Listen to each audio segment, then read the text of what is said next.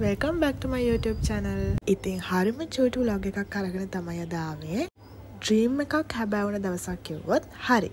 ඒ තමයි ජනිවර්සිටි ඩ්‍රීම් එක. ඉතින් ඒක ස්කෝල් යන වයසේදී ඒලවල්ස් කරද්දී ගොඩක් අඩදින් ඩ්‍රීම් එකක් කියලා මම හිතනවා. හරි. කොහොම හරි මට ගෙතරි දම්ම රැඩි වෙලා එන වීඩිය එකක් ගන්න බැරිවුණා මොකදමට ගොඩ පරක් වුණා. ඉති මගේ අලුව හිටිය මං එනකං මංචීව ම ඔන්ලයින් බිස්නස එකක් කරනවා කියලා. ඉතින් කැම්පස් එකට එන කලින්ම බිස්නස් එකෙන් හම්බුණු හොඳම අලුව තමයි එයා.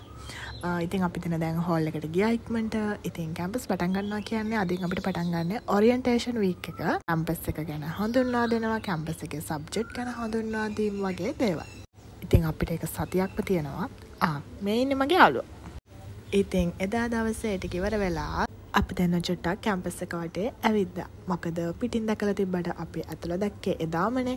ඉතින් ඇත්තටම හිතුවට වඩා මාරම ලස්සනයි. ඉතින් අපි දෙන්න ඇවිද ලැවිදල පොඩක් මහන්සි නිසා කැම්පස් එක කොල්ස් පොට් එකට ගිහිල්ලා පොඩි දෙයක් බිව්වා.